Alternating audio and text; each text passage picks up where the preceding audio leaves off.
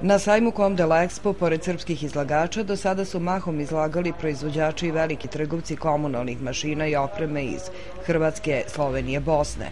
Zbog poplova koje su zahvatile i veći deo ovih zemalja, ove godine su njih 15 povukli prijeve pred početak sajma. Ove godine, nažalost, puno izlagača koji su bili naši izlagači svih ovih godina je otkazalo učešće zbog trenutne situacije u zemlji. Tako da će biti mnogo manje izlagača, ali nadam se da ćemo održati kvalitet koji smo imali svih ovih godina.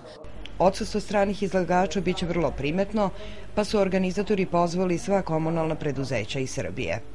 Mi smo obavestili e, sva javna komunalna preduzeća u celoj Srbiji da organizujemo ovaj sajam zato što se je dovedeno u pitanje uopšte održivost ovog sajma i mi se iskreno nadamo da će e, sva javna komunalna preduzeća na nivou Srbije naći interes da dođu da posete ovaj sajam. Comdela Expo ujedno je i poslednja manifestacija na Šumadija sajmu do kraja avgusta ili početka septembra.